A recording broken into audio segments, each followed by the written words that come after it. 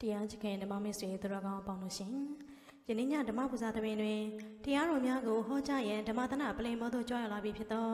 ကျေးဇူးတော်ရှင်ပေါမောက္ခကျော်ဆရာတော်ဖရာကြီး၏သီလဂုံတမာရိဂုံပညာဂုံတို့အားအာယုံထားလျက်တရဏဂုံသုံးပါးနှင့်တကွသီလတော်မြတ်ကိုခံယူဆောက်တည်နိုင်ရန်ဩဃာသကြော့ချို့ဖြင့်ညီညာဖျဖျရှိခိုးပူဇော်ကြပါကုန်စို့တို့တော်ကောင်းအပေါင်းလို့ရှင်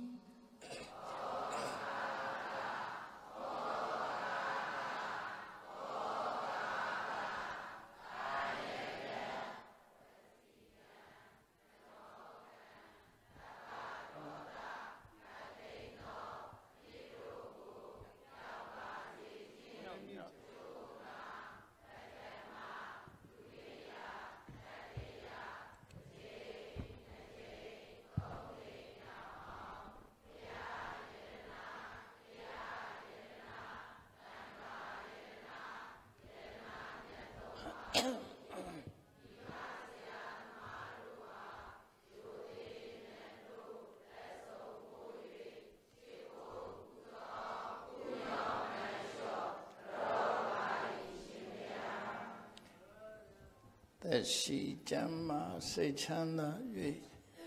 လူရဆန္ဒပြေဝစေကြောင်းကောင်းမှုမင်္ဂလာဖြစ်ပါစေရန်အလိုငါဖရာမြတ်ဆုံးယရနာတရားမြတ်ဆုံးယရနာတန်ခါမြတ်ဆုံးယရနာဤယရနာမြတ်သုံးပါးတို့အား ယောတိမြတ်တို့လက်ဆုံမူ၍ရှိခိုးပူဇော်ဖူးမြော်မှလျောကရောကြသောတက္ကိစ္စကာရဝပနာမကုသိုလ်စေရနာဖြာဖြာတို့ကြောင့်ယနေ့ခါမှစ၍သက်ရှိခြင်းကြမ်းမာခြင်းခွန်အားဤခြင်းစရှိသောကောင်းကျိုးချမ်းသာမင်္ဂလာပေါင်းတို့နှင့်ပြည့်စုံကြပြီလင်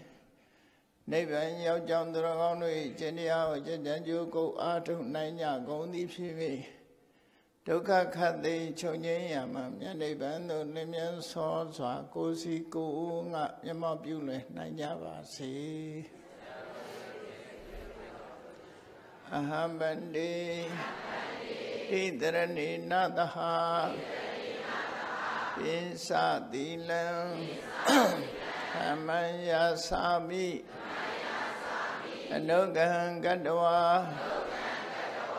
သီလန္တိထမေဗန္တိဒုတိယံပိအဟံဗန္တိဣတရဏိနသဟာပိစတိလံသမံယာသာမိအနုဂဟံကတဝါသီလန္တိထမေဗန္တိ တတိယံပိအဟံဗန္တိဣတရဏိနသဟာပိစတိလံသမံယာသာမိအနုဂဟံကတဝါသီလန္တိထမေဗန္တိ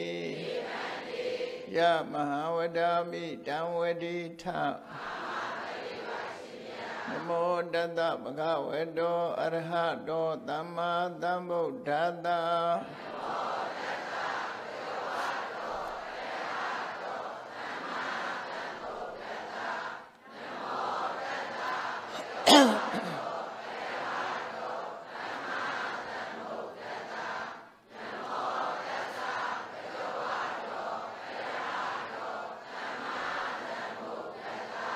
ဗုဒ္ဓံတရဏံဂိ သာမိဓမ္မံတရဏံဂိသာမိသံဃံတရဏံဂိသာမိဒု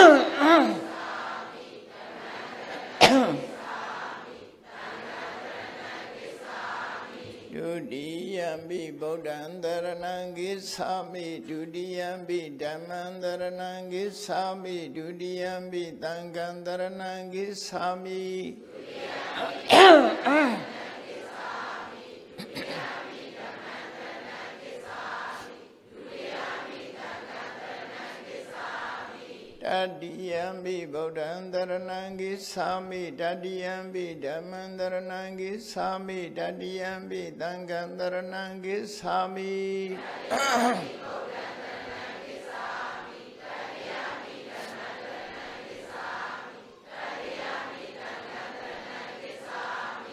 တရဏဂမနံပရိပုဏ္ဏံ ပရိပုံဏံပါဏာတိပါဒဝေရမဏိသိက္ခာပရံသမာဓိယာမိ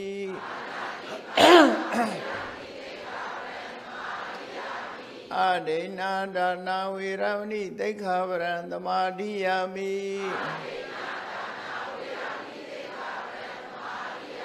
ကာမေတုမိစ္ဆာစာရဝေရမဏိသိက္ခာပရံသမာဓိယာမိကာမေ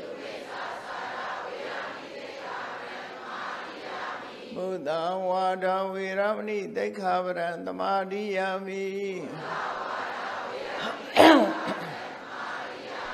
သုရာမေရယမေသပမာဒဌာနာဝေရမဏိသိက္ခာပရံသမာဓိယာမိ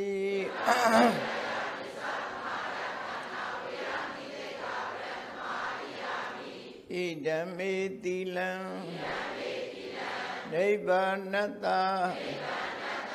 ပစ္စယောဟောတု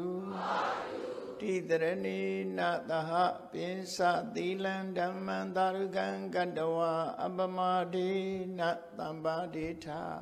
သာ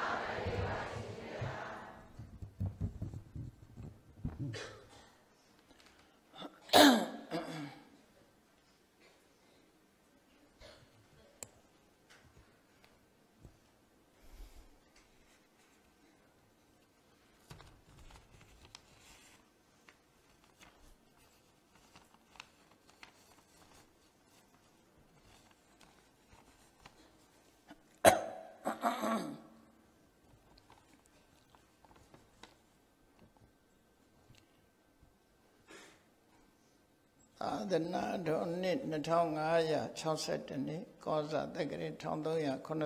ခုနှစ်ပြာသူလဆန်း9ရက်2019ခုနှစ်ဒီဇင်ဘာလ24ရက်ရန်ကုန်တိုင်းဒေသကြီးမယန်းကုန်းမြို့နယ်သာသနာရေးနှင့်ယဉ်ကျေးမှုဝန်ကြီးဌာနသာသနာတော်ထွန်းကားပြန်ပွားရေးဦးစီးဌာနသဘုသီရိဗိမာန်တော်တွင်ဆင်ကျင်းပပြုလုပ်အပ်သည့် သာသနာပူဇာမြတ်မင်္ဂလာအထူးဓမ္မသဘင်ခန္ဓာ၌စင်ကာပူနိုင်ငံမိမပြဖြစ်သောဥဝင်းတော်သိန်းစိုးတို့အမှုထား၍ဥအောင်တန်းကြီးဒေါက်တာဒေါ်ခင်ခင်ဝင်းမိသားစုတို့၏အမတဒါနဓမ္မဒါနဖြစ်ဖြစ်၎င်းရန်ကုန်မြို့ဥဒေဇစောဦးဒေါ်နှင်းရီမွန်သမီး ရှွန်းလက်နှင်းဦးရတီနှင်းဦးသာညံဘုံဦးမိသားစုတို့ဤအမတဒါနဓမ္မဒါနအဖြစ်၎င်းဟောကြားအပ်သောမထေမြတ်တို့ဤအမတ်တရားစကားများအပိုင်း66တရားဒေသနာတော်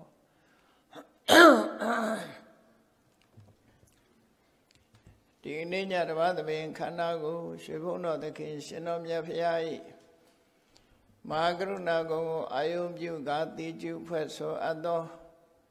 ဝန္ဒနာပနာမအာတိတဂါထာကိုရွတ်ဆိုပူဇော်ခြင်းဖြင့်စတင်ကြရအောင်ယောကပကောတိဟိပိအပမိယံကာလံကရွန်တောတိဒုက္ခရာနိခေရံကတောလောကဟိတယနာထောနမောမကာရုဏိကတတတ္တ ယောနာထောဝိနိယမြာစွာတတ္တဝါဤချမ်းသာစိပွားလိုလားတောင်းတဂုံပေါင်းခသဖြင့်နာထမြညာခြင်းရှင်တော်မြတ်ဖရာသည်ကပ္ပကောတိဟိပိဂရေကဘာအရေးအတွက်သင်္ချာတို့ဖြင့်တော်လဲ အဘေမေယံရည်တတိုင်းတာဖော်ပြခြင်းငါမစွမ်းနိုင်ပါသော ကာလံလေးအသင်ချေသိနေကဘာရှိကြသောကာလပတ်လုံးလောကဟိတယတတလောကဤအကျိုးစီးပွားအလုံးငါအတိဒုက္ခရဏိဥ္စာအသက်ချေလဲအင်္ဂါမေတ္တာကြီးမှသမိတာနှင့်တထာဇနီဆွန်ញင်းကြီးဟု ကျက်တိထဝဲငါးသွဲအစုအလွန်ခဲရင်တော်မူတော့ကိုကရွန်တော်ဘုရားဖြစ်ရန်ဤတန်ကြိုးကုတ်အာထုတ်တော်မူရသည်ဖြစ်၍ခေရန်လက်ချေမျက်လုံးအသက်ဆုံးလည်းရဲ့နှလုံးစိတ်ဝံကိုရောဤဗမန်ညင်တို့ကတဘဝတဏ္ဏကျိန်ဖန်များစွာရောက်တော်မူခဲ့ရရှာလိပြီမ ဟာကရုဏီကတတတဝများရင်ဝေသားကဲ့သို့တနာချစ်ခင်မှာကရုဏာရှင်ဖြစ်တော်မူသောတသနာတတဝိနည်းများစွာတတဝါဤချမ်းသာစီးပွားလိုလားတောင်းတခုံပေါင်းခါသည်ဖြင့်နာထမြညာထိုရှင်တော်မြတ်ဖရာအား နမောယုတိပြောင်းပြော့မှန်ကိုလျော်၍ကရောယုကျိုးရှိခိုးခြင်းသည်အထုဘဝတုစင်စစ်မဲ့သွေဖြစ်ပါစေတည်း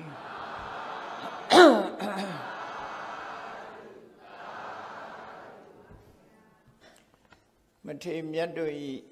အမှတ်တရစကားများအပိုင်း66 ဓမ္မအသိဉာဏ်နဲ့ပတ်သက်ပြီးအထွတ်ထိပ်သို့ရောက်ရှိသွားကြတဲ့မထေမြတ်တွေဟာမိမိတို့ရဲ့ဘဝအတွေ့အကြုံဓမ္မအတွေ့အကြုံဘဝအမြင်ဓမ္မအမြင်တွေနဲ့ပတ်သက်ပြီးတော့မတရားစကားများကိုမိတ်ဆိုခဲ့ကြတာဖြစ်တယ်အဲ့ဒီမိတ်ဆိုခဲ့တဲ့အမှတ်တရစကားတွေကိုထေရဂါထာဆိုပြီးတော့ ပိဋကတ်သုံးပုံမှာမှတ်တမ်းတင်ထားတဲ့ကျမ်းတစ်ကျမ်းမှာမထေမြတ်ပေါင်း264ပါးတို့ရဲ့အမှတ်တရစကားတွေကိုဖော်ပြထားတယ်အဲ့ဒီဖော်ပြထားတဲ့မထေမြတ်တွေကဒီနေ့တရားနှစ်ပါးမြောက်တေတုဆဆိုတဲ့မထေမြတ်ရဲ့အမတရားစကားကစတင်ပြီးတော့နာယူကြရမှာဖြစ်တယ် ဘဝဆိုတာလူတွေရရှိထားကြတဲ့အခြေအနေတရက်ပဲရရှိထားတဲ့အခြေအနေတရက်ဟာပတ်ဝန်းကျင်နဲ့ဖြစ်စေမိမိရဲ့အတွင်းအိဇဒစိတ်ကပဲဖြစ်စေကောင်းတဲ့ပတ်ဝန်းကျင်နဲ့ကောင်းတဲ့စိတ်နေသဘောထားတွေပေါင်းစပ်မိသွားလို့ရှင် ကောင်းတဲ့အခြေအနေတရားကိုဖြစ်ဖို့စေတယ်မကောင်းတဲ့ပတ်ဝန်းကျင်နဲ့မကောင်းတဲ့စိတ်နေသဘောတရားတွေပေါင်းစပ်သွားပြီဆိုရင်မကောင်းတဲ့အခြေအနေတစ်ခုရောက်ရှိပြီးတန်တရားထဲမှာဆင်းရဲဒုက္ခတွေ့ကြုံသွားကြအဲ့ဒါလို့အခြေအနေမျိုးမျိုးပေါ်မှာအခြေခံပြီးတော့တန်တရားထဲမှာတဘွားကနေတဘွား ပြောင်းရွှေ့ပြီးဖြစ်ပေါ်နေတဲ့အနေအထားတစ်ခုကိုပဲတန်တာရတန်တရားလို့ခေါ်တယ်တန်တာရဆိုတာလှိပတ်ဖြစ်ပေါ်နေခြင်းလို့ပြေးသွားနေရခြင်းတဘွားမှာတဘွားပြောင်းရွှေ့ဖြစ်ပေါ်နေခြင်းဆိုတဲ့အဓိပ္ပာယ်နဲ့စင်စက်မပြတ်ဖြစ်ပေါ်နေတဲ့အရာဘာတွေဖြစ်နာတော့လို့မေးလို့ရှိရင်တော့ ဓမ္မအမြင်နဲ့ပြောရင်ခန္ဓာ၅ပါးဖြစ်နေတာခန္ဓာ၅ပါးဟာပြတ်ဆဲသွားတယ်ရပ်တန့်သွားတယ်လို့မရှိဘဲနဲ့အကြောင်းအကျိုးဆက်နွယ်ပြီးတော့ပြတ်ဆဲသွားခြင်းမရှိဘဲနဲ့တစ်ခုနဲ့တစ်ခု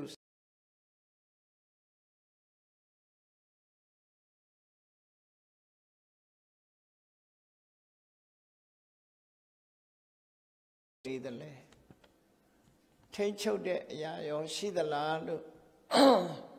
စဉ်းစားတွေးခေါ်ခဲ့ကြတယ်ပေါ့အဲ့ဒါလို့စဉ်းစားတွေးခေါ်ခဲ့ကြတော့ဘဝဆိုတာလူဘဝရှိတယ်အပယ်လေးဘုံလို့ဆိုရဲငရဲတရိษံပြိတ္တာဆိုရဲဆင်းရဲဒုက္ခများပြားလာတဲ့ဘဝရှိတယ်နတ်ဘဝပြမဘဝဆိုတာရှိတယ် များသောအားဖြင့်မြတ်ဗုဒ္ဓလက်ခံထားတဲ့ဘဝဆိုတာခန္ဓာတို့ရဲ့ဖြစ်ရာကွဲပြားခြားနားတဲ့အနေအထားတွေကို32ဘုံခန္ဓာတို့ရဲ့ဖြစ်ရာဘုံအနေနဲ့ပြောမယ်ဆိုလို့ရှိရင်32မျိုး32မျိုးလို့ပြောတာဟာ တရားရည်ရဲ့ဖြစ်တဲ့အနေအထားချင်းမတူတဲ့နေရာပေါင်း32မျိုးလို့သူတို့ဆိုလို့တယ်ပေါ့နော်အဲ့ဒါကိုဘုံလို့ပြောတာအင်္ဂလိပ်လိုပြန်တော့ plain လို့ပြန်လေးရှိကြတယ်ပေါ့အဲ့တော့တရားရည်ဟာတစုံတစ်ခုကိုမှီပြုပြီးတော့မှလောကကြီးမှာဖြစ်ပေါ်ကြတာဖြစ်ပေါ်လာတဲ့ခန္ဓာတစ်ခုဟာလည်းပဲသူချီယက်တည်နိုင်တာမဟုတ်ဘူး ကံစိတ်ဥတုအာဟာရရုပ်ပိုင်းဆိုင်ရာတွေမှာကံစိတ်ဥတုအာဟာရဆိုတဲ့အကြောင်းလေးရပ်ကို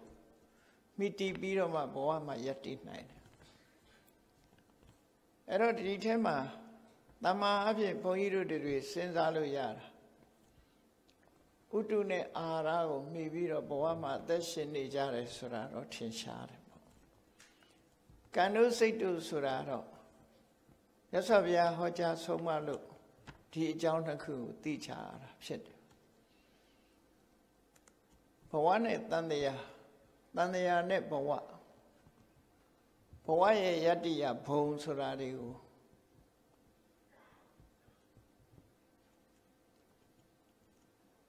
တခြားပညာရှိတွေကလည်းပဲဟောပြောခဲ့တာဖြစ်လို့မြတ်စွာဘုရားကိုယ်တိုင်က ဒါဟုတ်တယ်ဆိုပြီးတော့လက်ခံခဲ့တာဖြစ်တယ်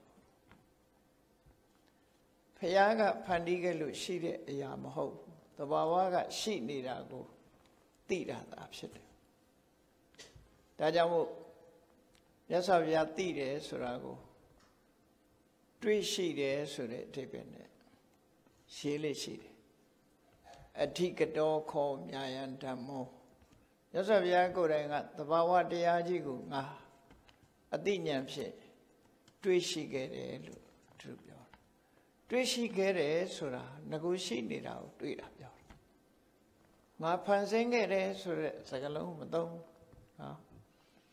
တခြားသာတခြားဘာသာတွေနဲ့လူတွေယုံကြည်ချက်ကတော့ဖန်ဆင်းတယ်ဆိုတဲ့ဖန်ဆင်းတယ်ဆိုတဲ့စကားလုံးကိုပါဠိစာပေမှာနေမာနာလို့ခေါ်တယ်နေမာနာဆိုတာ ဖန်ဆင်းတာဖန်ဆင်းတယ်ဆိုတာဟာတစုံတစ်ယောက်ကပြုလုပ်ထားတယ်ဆိုတဲ့အဓိပ္ပာယ်ပေါ့နော်တကုရှင်က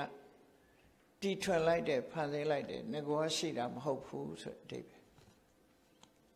အဲ့တော့တရားရရဲ့ဘဝတရားရကိုတကုရှင်တူကဖန်ဆင်းလိုက်တယ်ဖန်ဆင်းပုံဖန်ဆင်းနည်းကိုလည်းမျိုးမျိုးကြံစီကြတယ်ကြံစီပြီးတော့ဟောပြောပြီး တရားရရဲ့အစကိုရှာဖွေလေ့လာကြတယ်သို့တော့အားလုံးဟာအမှန်တရားတွေမဟုတ်ဘူးမြတ်စွာဘုရားကဒီနေမာနလို့ခေါ်တဲ့ဖန်ဆင်းမှုဆိုတာဟာတကယ်ကတော့အယူဆတရားသာဖြစ်တယ်တကယ်ဖန်ဆင်းတာမဟုတ်ဘူးတရားတွေဟာကံနဲ့ကိလေသာ မိမိတို့ရဲ့ရင်ထဲနှလုံးထဲမှာရှိနေတဲ့ကံကိလေသာဆိုတဲ့အကြောင်းတရားတွေပေါင်းစပ်ထားလို့ဘဝခန္ဓာတွေကိုရရှိပြီးဟိုဘဝဒီဘဝဆိုတာတွေဖြစ်နေကြတယ်ဘယ်သူမှဖန်ဆင်းတာမဟုတ်ဘူးကိုယ့်ရင်ထဲနှလုံးထဲမှာဖြစ်နေတဲ့အရာတွေကဖြစ်ပေါ်စေတာဖြစ်တယ်လို့နောက်ပိုင်းမှာတွေးရှိလာအဲ့ဒါစပြီးတော့တွေးတာတော့ မြတ်စွာဘုရားတွေးတာဗုဒ္ဓကတွေးတာဒါကြောင့်မို့အဓိကတော်ဘာသာပြန်တဲ့အခါ discover လို့ပြန်နော် discover ဆိုတာတွေ့ရှိတယ်တဘာဝကိုကတရားရီဟာဒီပုံဖြစ်နေတယ်ဆိုတာ discover လို့အဲ့တော့တရားရီဖြစ်ပေါ်လာပုံအကြောင်းနဲ့ပတ်သက်ပြီးတော့မြတ်စွာဘုရားကပရိစ္ဆသမုပ္ပတ်ကိုဟောထားတာအဲ့တော့ပရိစ္ဆသမုပ္ပတ်ဆိုတာဟာ တရားရီဘယ်လိုဖြစ်ပေါ်လာပုံဖြစ်ပေါ်လာတာကို ရှင်းပြတဲ့တရားဒေသနာသာဖြစ်တယ်ပေါ့အတွင်းကြကြလေးနဲ့မှန်ကန်ထားပြီးတော့ချောင်းကျိုးဆင်ဆက်ပြီးဖြစ်နေတာသာဖြစ်တယ်တစုံတယောက်ရဲ့လုံလပြောကပါတာမဟုတ်ဘူးတဘာဝတရားကြီးဟာစင်ဆက်မပြတ်ဖြစ်ပေါ်နေခြင်းသာလည်းဖြစ်တယ်တဘာဝတရားကိုတဘာဝတရားနဲ့ပြန်ပြီးတော့ တုတ်ပြန်ပြီးဖြစ်ပေါ်စေတတ်တဲ့အကြောင်းတရားတွေကိုဖယ်ရှားလိုက်မယ်ဆိုရင်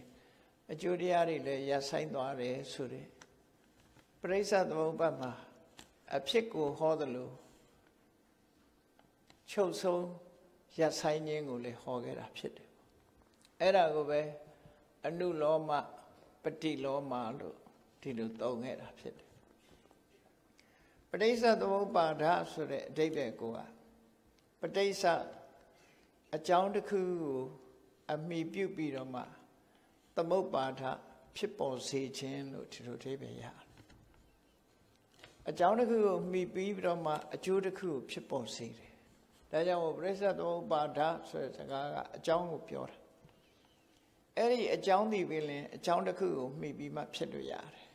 သူ့ချီဖြစ်လို့မရဒါရှင်းရှင်းလေးနားလည်လို့ရတယ် တရက်စီလေးကတရက်ပင်ပေါက်တယ်ဆိုတာလူတိုင်းသိတယ်တရက်စီလေးကတရက်ပင်ပေါက်တယ်အစေတဲကအမြင့်သက်ဆင်းတယ်အညောင်ထွက်တယ်ရစီနဲ့ကြည့်လို့ရတယ်ကိုယ်တိုင်စမ်းသပ်ကြည့်လို့ရတယ်သို့တော့ဒီတရက်စီလေးကအမြင့်သက်ဆင်းဖို့နဲ့အညောင်ထွက်ဖို့ဆိုတာဟာ မြေနဲ့ရေနဲ့နှစ်ခုကိုဆွဲမိပြီးတော့မှသာဖြစ်နိုင်တယ်မြေရေဆိုတာမပါဘဲနဲ့သူကထွက်လာမှာမဟုတ်ဘူးရေရေဆိုဒီမှာအဆိုဓာတ်ရေဆိုတာအဆိုဓာတ်ကိုပြောတာအဲ့ဒီမြေဓာတ်ရေဓာတ်နဲ့ပေါင်းစပ်လိုက်တဲ့အခါမှာတရေပင်တွေကတရေစီကအမြင့်နဲ့အပင်ကိုထုတ်လုပ်နိုင်တာဖြစ်တယ်ဒီတိုင်း6သွေးတဲ့နေရာမှာထားလို့ရှိရင်သူမထုတ်လုပ်နိုင်အဲ့ဒီအဓိပ္ပာယ်ပဲ ပဋိစ္စဆိုတာအကူအညီဖြစ်တဲ့အကြောင်းတစ်ခုကိုဆွဲမိပြီးတော့မှသမုပ္ပါဒအကျိုးတစ်ခုကိုထုတ်လုပ်တယ်လို့အခုကြည့်လေလျှက်စစ်မီတီထွင်ထားတယ်ဟုတ်ပြီလျှက်စစ်မီဟာလျှက်စစ်ကျိုးဝါယာကျိုးတို့မိသီတို့ဖန်ကြောင်းတို့ဆိုတဲ့ဒါတွေမပါဘဲနဲ့လျှက်စစ်ကဒီလိုအလင်းရောင်ကိုပေးနိုင် နော်အကူကြီးတစ်ခုရှိရတယ်မရှိလို့မရဘုန်းကြီးတို့တွေတရားဟောပြောတရားနှုတ်နာယူနေကြတဲ့ဒီဓမ္မယုံကြီးပဲကြည့်မြေကြီးရှိလို့ယက်တည်နိုင်မြေကြီးပေါ်မှီပြီးတော့သူကယက်တည်အကြောင်းတစ်ခုကိုသူမှီပြီးတော့မှယက်တည်လို့ရတာအကြောင်းမရှိရင်သူဟာယက်တည်နိုင်စွာမရှိဘူးအလုံးဟာလည်းဒီတိုင်းပဲအကြောင်းတစ်ခုကိုမှီပြုပြီးမှယက်တည်တာ အကျိုးတစ်ခုကိုဖြစ်စေတယ်လို့အဲ့ဒါကိုရည်ညွှန်းတာပဋိစ္စသမုပ္ပါဒ dependent origination လို့ dependent originating cause အကြောင်းတရားကိုပြောတာအကျိုးတရားကိုရည်ညွှန်းတဲ့အခါကျတော့ပဋိစ္စသမုပ္ပန္နလို့သုံးတယ်ပါဒမဟုတ်ဘူးပန္နအဲ့ဒီချာအဲ့ဒါအကျိုးတရားအဲ့တော့အကြောင်းတရားနဲ့အကျိုးတရား သရဝါတွေဖြစ်ပေါ်လာပုံကိုမြတ်စွာဘုရားကကြာကြာနာနာကိုယ်ပိုင်ညာနဲ့သိပြီးတော့ရှင်းလင်းဟောပြခဲ့တယ်ဖះမဟောခင်တုန်းကတော့လောကလူသားတွေဟာတရဝါတွေကိုဖះဖန်ဆင်းတယ်ဆိုပြီးတော့ယုံကြည်နေကြတယ်ဖះဖန်ဆင်းတာဖန်ဆင်းပုံဖန်ဆင်းမှုမျိုးမျိုးဟိန္ဒူအစ္စလာမ်မှာဆိုရင်ဒီ Brahma ဆိုတဲ့ခေါ်အကြီးက Brahma ဆိုတဲ့ခေါ်ကလေနဲ့မှုတ်ပြီးတော့သူကဖန်ဆင်းလိုက်တယ်လို့လည်းဆိုတယ်နော်လူတွေလုံးလေးရှိကြတယ်မဟုတ်လားဆပ်ပြဘူပေါင်းမှုတ်ထားလို့မှုတ်လိုက်တဲ့အခါဆပ်ပြဘူပေါင်းလေးတွေဟာပုံစံမျိုးမျိုးနဲ့ထွက်လာအဲ့ဒါလိုပဲမြမကြီးကလည်းမှုတ်ပြီးတော့ဖန်ဆင်းတယ်လို့တွေးတဲ့လူကတွေးရေးတဲ့စာကရေး မျိုးစုံပဲအေးတချို့ကြတော့တဘာဝတရားနှစ်ခုကပေါင်းစပ်ပြီးတော့ဖြစ်ပေါ်လာတာလို့ယူဆတဲ့ဒီအတွေးအခေါ်တွေလည်းရှိတယ်သံခယဖလိုဆိုပြီးဆိုတာကြတော့ပရာကရုတိလို့ခေါ်တဲ့တဘာဝဓာတ်ကြီးကိုပုရုရှလို့ခေါ်တဲ့နောက်တတစ်ခုနဲ့ပေါင်းစပ်လိုက်လို့ရှိရင်တရဝါဆိုတာဖြစ်ပေါ်လာတယ်လို့ ဒီနှစ်ခုပေါင်းစပ်တယ်လို့ဆိုပြီးတော့ပေါင်းစပ်လို့ဖြစ်လာတာလို့သံခယဖလိုဆိုဖီကဒီလိုအတွေးအခေါ်တွေမျိုးစုံနဲ့တရဝါတွေဟာဘာကြောင့်ဖြစ်ပေါ်လာတယ်ဆိုတဲ့ပုံစံတွေကိုချမ်းစီကြနောက်ပိုင်းမှာလည်းပဲလူခါမြောက်ကနေပြီးတော့အမီးတူပြီးတော့ဖြစ်လာတဲ့ရောင်ရောင်မြောက်ကပဲသင်ဆင်းသက်လာတယ်ဆိုပြီးတော့တွေးတာတွေလည်းရှိကြတယ်လေနော် အဲ့ဒါလို့တဖြည်းဖြည်းပြောင်းရွှေ့ဖြစ်ပေါ်လာတယ်လို့ယူဆတဲ့ evolution ဆိုတဲ့ယူဝါဒလည်းရှိတယ်မျိုးစုံပဲအဲ့တော့မြတ်စွာဘုရားကတရားတွေဘယ်လိုဖြစ်ပေါ်လာတယ်ဆိုတာကိုပြောတဲ့အခါမှာပြိဿသမုပ္ပါနဲ့ရှင်းပြိဿသမုပ္ပါအဓိကအဲ့ဒါကိုပြောတာကြောင်းတဲ့အကျိုးအဲ့တော့ရှင်းရှင်းလေးဗမာလိုနားလည်အောင်ပြောရမယ်ဆိုရင် အဝိဇ္ဇပစ္စယသင်္ခါရသင်္ခါရပစ္စယဝိညာဏဒီနှစ်ခုကဘဝဖြစ်ပေါ်လာပုံကိုပြောတာအဝိဇ္ဇဆိုတာအမှန်မသိမှုအမှန်မသိတဲ့အဝိဇ္ဇအမှန်မသိဘူးဆိုတာဘာလဲလုံးတဲ့နာလားမလုံးတဲ့နာလားမသိဘူးတဘာဝတရားသိခြင်းကြောင့် မလုံးတဲ့နာကိုလုံးတဲ့တယ်လို့ထင်တယ်လုံးတဲ့နာမလုံးတဲ့ဘူးလို့ထင်တယ်သို့တော့လှုပ်လိုက်တယ်အမှန်မသိတာကိုအခြေခံအဝိဇ္ဇာသင်္ခါရကိုကုသိုလ်အကုသိုလ်မှမသိသည့်အတွက်ကြောင့်ကောင်းတာလည်းလှုပ်တာပဲမကောင်းတာလည်းလှုပ်တယ်လှုပ်တဲ့နဲ့လို့ထင်ပြီးတော့မလှုပ်တဲ့နာလည်းလှုပ်လိုက်တယ်မလှုပ်တဲ့မှုထင်ပြီးလှုပ်တဲ့နာလည်းမလှုပ်ဖဲနေတယ်အဲ့တော့ အမှန်မသိမှုကြောင့်တခုလှုပ်တဲ့နာမလှုပ်တဲ့နာခွဲခြားမသိလို့လှုပ်လိုက်တယ်လှုပ်လိုက်ပြီဆိုလို့ရှိရင် तू ကရဇက်ကထွက်လာတာပဲဒါထုံးစံနော်သင်္ခါရပိစ္ဆယဝိညာဏဆိုပြီးတော့ပရိသေပရိသေစိတ်ကလေးကိုပေါက်ဖွာလာစေတယ်လောက်ရကပေါက်ဖွာတယ်အဲ့ဒီမှာ အဝိဇ္ဇာအမှန်မသိမှုဆိုတာခိလေသာလုံးပြီးလို့ရလောက်တာကကံတရားကိလေသာနဲ့ကံပေါင်းစပ်ပြီးတော့ဝိညာဏဆိုတဲ့တရားရရဲ့တဏ္ဍမှာအသိစိတ်ဆိုတာထုတ်လိုက်တာဒါဘဝစနော်ပရိသေဝိညာဉ်စိတ်လေးထုတ်လိုက်တယ်ထုတ်လိုက်တဲ့အခါဘာတွေပါလာတော့ဆို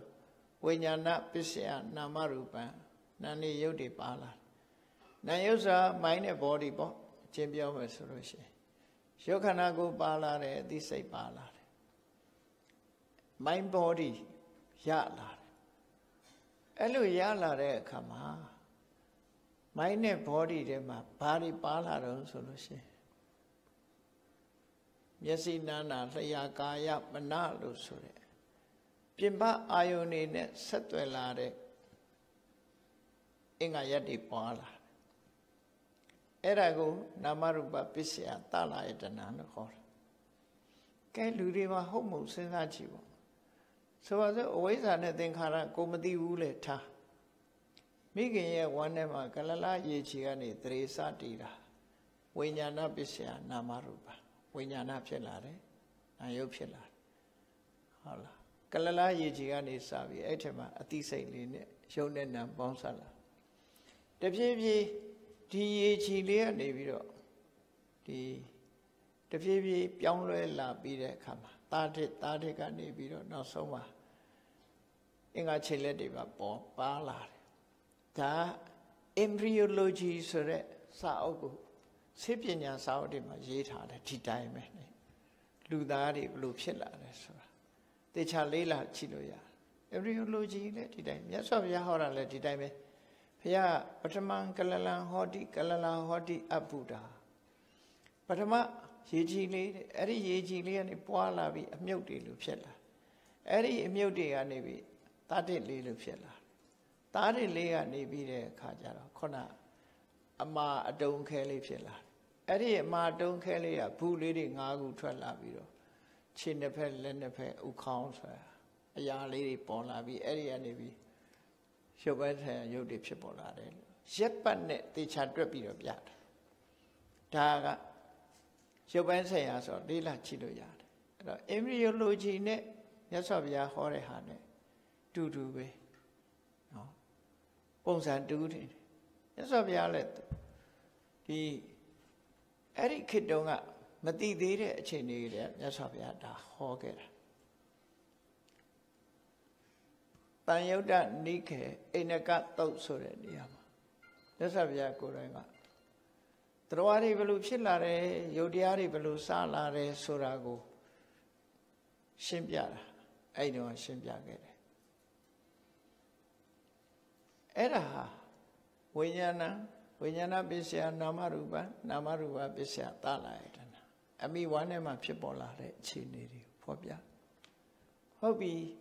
မျက်စိနာနာလျာကာယမနာဆိုတာဒီပေါ်လာတဲ့အခါမျက်စိပါသည့်အတွက်ကြောင့်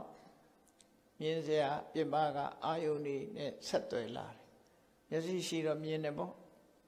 နားရှိတော့လည်းအတန်ကြားတယ်နှာခေါင်းရှိတော့အနံ့ရတယ်လျှာရှိတော့အရသာကိုသိတယ်ကိုယ်ကာယရှိသည့်အခါအထိတွေ့နဲ့ဆက်သွယ်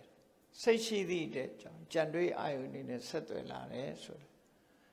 အဲ့ဒါကို သလယရဏပစ္စယဖတ်တော့ဆက်သွယ်မိသွားတယ်မျက်စိတွေကမြင်လာပြီဆိုရင်ဖတ်တဆက်သွယ်သွားပြီအာယုန်နဲ့စိတ်နဲ့ဆက်သွယ်သွားတာအဲ့ဒါလို့ဆက်သွယ်လာတဲ့အခါဘာဖြစ်တုံးဆိုအာယုန်ရဲ့အနေအထားတစ်ခုပေါ်မှာစိတ်ခံစားမှုသို့မဟုတ်အတွေ့အကြုံ experience လို့ပြောမှာနော် experience ဒီအာယုံကိုတွေးလိုက်တဲ့အခါ ကောင်းတယ်ဆိုတယ်ဆိုတဲ့အတွေ့အကြုံလေးတစ်ခုရသွားတယ်ဒါကိုပဲစိတ်ခံစားချက်လို့ခေါ်တယ်နော်စိတ်ခံစားချက်တွေပေါ်လာတယ်အဲ့တော့ဖသဗိစေယဝေဒနာဒီထိအောင်တရားတွေဟာသဘာဝအတိုင်းဖြစ်နေတာမြတ်စွာဘုရားကတရားတွေဖြစ်ပေါ်လာပုံကိုကြည့်အကြောင်းတရားကိုကံရယ်ကိလေသာရယ်လို့နှစ်ခုပေးတယ် အဲ့ဒီကံနဲ့ကိလေသာနှစ်ခုပေါင်းစပ်လိုက်တယ်ဒါဖြင့်ဒီကံကိလေသာကဘု து ကံနဲ့ဘု து ကိလေသာတုံးလို့ဆိုရင်တရားအသီးသီးရဲ့တဏ္ဍမှာဖြစ်တဲ့ကံနဲ့ကိလေသာသူများဟာနဲ့ကိုယ်နဲ့မဆိုင်ဘူး individual ပဲအဲ့တော့ပြင်မကလာပြီးတော့လှုပ်ထာလာလို့ဆိုဘာမဆိုင်ဒါဖြင့်အမေအဖေကရောအမေအဖေဆိုတာဆွိုင်းမယ်လေအမေနဲ့အဖေကမြေကြီးနဲ့ရေလို့ပဲပြောလိုက်ပါတော့ မျိုးစိတ်လေးကြပြီးတော့အပင်ပေါက်ဖို့ရာအတွက်ဆွိုင်းနဲ့ water လို့တယ်ဒါကြောင့်မို့တရားတွေဟာအမေဖေကဖန်ဆင်းပေးတာမဟုတ်ဘူးအမေနဲ့အဖေပေါင်းဆက်လိုက်တဲ့အရာကသူတရေတီဖို့အတွက်ဆွိုင်းအနေနဲ့ဖြစ်လာတာ span နဲ့ open လို့ခေါ်တယ်အဲ့ဒီနှစ်ခုပေါ်မှာမိတီပြီးတော့လူရဲ့တရေဟာပေါက်ဖွာအဲ့တော့ တဲပင်လေးတစ်ပင်ပေါက်ထားနဲ့တစ်ပင်လေးတစ်ပင်ပေါက်ထားနဲ့လူတစ်ယောက်မွေးဖွားလာတဲ့ပုံစံညံ့တူတယ်တူတယ်နော် soil နဲ့ water မြေကြီးနဲ့ရေပေါ်မှာအမိပြုတ်ပြီးမျိုးစေ့တွေမျိုးစေ့က soil မဟုတ်ဘူး water မဟုတ်ဘူး water ရဲ့ရေရဲ့မြေရဲ့ကတစ်ခုနော်မျိုးစေ့ကတစ်ခုသုံးခုအဲ့ဒါလိုပဲမိခင်ဖခင်တို့ရဲ့ span နဲ့ open ကတစ်ခု တရားရရဲ့ကံမျိုးစေ့ကတစ်ခုဟောသုံးခုအဲ့ဒီသုံးခုဟာပေါင်းစပ်ပြီးတော့အပင်နဲ့အလားသရံတူတဲ့ဝိညာဏပစ္စယနာမရူပနာမရူပပစ္စယသလယရဏသလယရဏပစ္စယဖတ်တော်ဖတ်တာပစ္စယဝေဒနာဆိုဆင်ဆက်ဖြစ်လာအဲ့လိုဖြစ်လာတာအဲ့တော့ဝေဒနာဖြစ်လာပြီဆိုရင်ဘာဖြစ်တုံးဆို လူတွေဟာစိတ်ခံစားမှုကိုအကြောင်းပြုပြီးတော့လိုချင်စိတ်တွေဖြစ်လာတယ်ဝေဒနာပစ္စယတဏှာကောင်းတာတွေ့လဲလိုချင်တာပဲမကောင်းတာတွေ့ရင်လည်းကြော်ပြီးကောင်းတာကိုလိုချင်တာပဲနော်အဲ့တော့ဝေဒနာပစ္စယတဏှာဆိုတဲ့ဖြစ်ပေါ်လာမှုဟောစိတ်ဟာရိုးရိုးဖတ်တာတို့ဝေဒနာတို့ဆိုတာသဘာဝပဲလူရဲ့သဘာဝ သို့တော့ဝေဒနာပစ္စယတဏှာလို့ဖြစ်လာတဲ့အခါကျတော့အဲ့ဒီနေရာလေးမှာမထိန်နိုင်ဘူးကောင်းတဲ့ခံစားချက်ဆိုလိုချင်လာတယ်မကောင်းတဲ့ခံစားချက်ဆိုမုန်းတီးလာတယ်မုန်းတီးပြီးတော့ကောင်းတဲ့ခံစားချက်ကိုလိုချင်လာတယ်ဆိုတဲ့အနေအထားလေးတစ်ခုဟာစိတ်ကိုညှဉ်းနှွမ်းစေတတ်တဲ့အနေအထားတစ်ခုဖြစ်လာဖတ်တာတို့ဝေဒနာတို့ဆိုတာသဘာဝ မြင်တယ်မြင်တော့စိတ်ခံစားမှုပေါ်တယ်ဒါသဘာဝပဲအဲ့ဒီစိတ်ခံစားမှုပေါ်လာတဲ့အပေါ်မှာလိုချင်တယ်ဆိုတာကြတော့စိတ်ကိုဖိစီးတဲ့အရာတစ်ခုဖြစ်လာစိတ်ကိုအယောင်ဆိုးလိုက်တဲ့သဘောတစ်ခုဖြစ်လာမုန်းတီးတယ်ဆိုတာစိတ်ကိုအယောင်ဆိုးလိုက်တဲ့ဒါကြောင့်မို့အဲ့ဒါကိုကိလေသာလို့ခေါ်တယ်လိုချင်တော့တာမန်အပြင်စိတ်ကိုသူကပူလောင်စေတယ်ပင်ပန်းသွားစေတယ်လိုချင်ပြီဆိုရင်စိတ်ကပင်ပန်းလာတယ် မုန်းတီးပြီဆိုရင်ပင်ပန်းလာတယ်စိတ်ကိုဖိစီးလာတဲ့သဘောတွေရှိတယ်ဝိခာတပရိလဟစဉ်းစားကြည့်လေလိုချင်တာမရရင်စိတ်ဘလောက်ပင်ပန်းတော့လိုချင်နေပြီဆိုလို့ရှိရင်အိတ်မပြောအဲ့မျိုးတွေဖြစ်တဲ့စိတ်ဖြစ်စီလားအဲ့ဒီတဏှာဆိုတဲ့စိတ်ဖြစ်စီမှုကိုခိလေသာလို့ခေါ်တယ်တခါစိတ်ဖြစ်စီမှုကဆောင်းဖြစ်လာတယ်ပို့ပြီးတော့ကြမ်းတမ်းလာတယ်မာကျောလာတယ် မြင့်မားလာတယ်အရှိန်မြင့်လာပြီဆိုရင်တဏှာပစ္စယဥပါဒနာဆွဲလန်းနေတယ်စိတ်ထဲမှာဆွဲလန်းပြီးတဒန်းတတာဖြစ်လာအဲ့ဒီလိုဖြစ်လာတဲ့အခါဘာလို့တော့ရအောင်ကြိုးစားလာတယ်ဥပါဒနာပစ္စယဘောလှုပ်လာတယ်ရတဲ့နည်းတွေမျိုးစုံလှုပ်လာတယ်ကမ္မဘဝလှုပ်လာသည့်အတွက်ကြောင့်ရလာတယ်ဥပပတ္တိဘဝဆို ဟောတရားတွေဟာခန္ဓာရလာတာဟာဘယ်ဖေယဘယ်ထာဝရတကုရှင်ကြီးကဖန်ဆင်းတာမှမဟုတ်ဘူးကိုယ့်ရင်နဲ့နှလုံးထဲမှာဖြစ်ပေါ်လာတဲ့အကြောင်းတရားတွေကနေဖန်တီးတာသာဖြစ်တယ်ဆိုတာပြိဿသမုပ္ပါဒ်နဲ့မြတ်စွာဘုရားရှင်းပြတာဘဝပိစယဇာတိအေးကံတရားတွေဖြစ်ပေါ်လာသည့်အတွက်ကြောင့်ဘဝတစ်ခုမှာမွေးဖွားလာမှုဖြစ်တယ်မွေးဖွားလာပြီးရင်ဘာဖြစ်လဲ ဇာတိပိစယစရာမရဏမှန်လိုက်တာစဉ်းစားကြည့်မွေးလာတော့ကဘေဘီကလေးပေါက်စလေးတဖြည်းဖြည်းကြီးထွားလာတယ်ရင့်လာတယ်နော်ဒီတိုင်းနေတာမဟုတ်တဖြည်းဖြည်းကြီးထွားလာတယ်ရင့်လာတယ်ရှင်ချင်းမကရင့်လာတဲ့အခါကျတော့မှဲ့လာတယ်စပင်းတွေဖြူကုန်တယ်သွားတွေကျိုးကုန်တယ်ပရီတွေတွန်းကုန်တယ်မှဲ့လာပြီးတဲ့အခါကျရော်ပြီးတော့ ပျက်စီးပြီးသွားပြန်ရောတစ်ပင်လည်းဒီတိုင်းပဲအသီးတွေလည်းဒီတိုင်းပဲအပွင့်တွေလည်းဒီတိုင်းပဲဒါမျက်စိကနေကြည့်လို့ရတဲ့ဟာတွေဗမင်းလေးတပင်ကြည့်လိုက်ပါလားအဖူးလေးအငုံလေးကစားလာတယ်ပွင့်လိုက်ပြီးပွင့်လာပြီးရင်ဘာဖြစ်လဲရှင်းလာပြီးတော့ညှိုးသွားတယ်ညှိုးပြီးတော့ဘာဖြစ်ကြွေကြသွားတယ်ဟောဒီတဘာဝဖူးပွင့်နွမ်း ကြွေပန်းအနေတို့ဆိုအဲ့ဒီတိုင်းပဲဘဝစားအကြောင်းတရားဖန်ဆင်းတာလို့ဘဝတစ်ခုဟာဒီလိုဖန်ဆင်းတာအဲ့ဒါကိုပြောတာဇာတိပစ္စယဇရမရဏဒီကြားထဲမှာအပူဒုက္ခတွေဝင်လာသေးတယ်ဘာတော့တောကတဲ့ကိုကိုပိုင်ဆန္ဒလေးပျက်စီးတော့မယ်သို့မဟုတ်ပျက်စီးသွားပြီဆိုရင်စိတ်တွေပူပန်ကြတယ်တောကဖြစ်ကြ မထိန်နိုင်ရင်ငိုကြတယ်ပရိဒေဝကိုဆင်းရဲမှုနဲ့ကြုံကြတယ်ဒုက္ခစိတ်မချမ်းသာတာတွေခံစားကြရတယ်ဒေါမနတစိတ်တွေပင်ပန်းတယ်ဥပါယတတော့ကြည့်လိုက်မယ်ဆိုရင်အဲ့ဒါတွေဖြစ်လာဝေးဖွားလာတဲ့လူဘဝရဲ့အတွေ့အကြုံတွေကိုပြောတာအဲ့တော့မြတ်စွာဘုရားအတွေ့အကြုံဆိုတဲ့မှာအကောင်းတစ်ခုမှထည့်မပြောတာဘာကြောင့်တော့ဆိုလို့ရှိရင် အကောင်းတွေရောမရှိဘူးလားဆိုရှိပါတယ်ဘဝဖြစ်လာတဲ့အခါကျတော့ဟုတ်လားပစ္စည်းဥစ္စာတွေရှားကြဖွေကြချမ်းသာကြကြွယ်ဝကြယာရုဂုံသိန်းတွေတိုးတက်ကြဒီဟာလေးတော့မရှိဘူးလားဆိုရှိတယ်ဒါပေမဲ့လို့ဒါတွေကအဆုံးသတ်မဟုတ်ဘူးတခဏလေးပဲအဲ့ဒါကြောင့်ထဲ့မပြောတော့ဘူးအဲ့ဒါထဲ့မပြောဘူးတခဏလေးပဲအဲ့တခဏလေး လွှမ်းမိုးသွားတာကဘာလို့ဆိုသောကပရိဒေဝဒုက္ခဒေါမနတဥပယတတံပဝန္တိတဲ့အဲ့ဒါတွေဖြစ်လာဖြစ်လာပြီးတော့ဏိကုံးချုပ်ပြောလိုက်တဲ့ကဧဝမေတ္တခေဝလတ္တဒုက္ခခန္ဓာဒီတိုင်းပဲတဲ့တရားတွေမှာဒုက္ခတက်တက်ဒုက္ခအစု mess of suffering ဆင်းရဲဒုက္ခအစုတက်တက်ပဲဖြစ်နေဒုက္ခကြောင့်ဒုက္ခဖြစ်တာ ဒီထဲမှာဘုရားသခင်ဆိုတာမပါဘူးဒုက္ခကြောင့်ဒုက္ခဖြစ်တယ်ဆိုတာဒီအကြောင်းကြောင့်ဒါတွေဖြစ်နေတယ်ဆိုတာကိုအကြောင်းနဲ့အကျိုးမြတ်စွာဘုရားဆက်ဆက်ပြီးတော့ပြောအေးလူတွေကတော့လူတယောက်ယောဂဖြစ်ပြီဆိုရင်ဘုရားသခင်ဖန်ဆင်းလို့ပြောကြဘူးအဲ့ကြတာသိပြောကင်ဆာယောဂဖြစ်တယ်ဘာကြောင့်ဖြစ်ဟိုယောဂဒီယောဂတွေဖြစ်ကြတယ် ယောဂကြတော့ဘုရားသခင်ဖန်ဆင်းလို့လို့သိပြီးတော့မတွေးကြဘူးမပြောလည်းမပြောကြဆရာဝန်တွေကလည်းအဖြေထုတ်တယ်ဖြေထုတ်တယ်ဘာကြောင့်ဖြစ်တယ်တခါတည်းအဖြေမထုတ်နိုင် unknown cause အကြောင်းတရားမသိနိုင်ဘူးလူခန္ဓာကိုယ်ကြီးရှိနေသည့်အတွက်ကြောင့်ယောဂဝေဒနာတွေဖြစ်လာအဲ့ဒီယောဂကိုဘာနဲ့ပျောက်အောင်လုပ်မလဲဆိုပျောက်အောင်လုပ်တဲ့နီလန်းနေနဲ့ကြိုးစားပြီးတော့ကုချတယ်မှာကြတယ်ပေါ့တကယ်တော့ တဘာဝအကြောင်းတရားကတဘာဝတရားအကျိုးတရားတွေကိုဖြစ်ပေါ်စေတာမို့အဲ့ဒါကိုကေဝလတ္တဒုက္ခခန္ဓတဒုက္ခခန္ဓဒုက္ခဆိုတာဆင်းရဲခန္ဓာဆိုတာအစုကေဝလဒါပဲတက်တက်တခြားလုံးဝမပါဘူးလို့ဆိုလိုတယ်နော်ဆင်းရဲအစုတတ္တဟာဖြစ်ပေါ်နေတာသာဖြစ်တယ်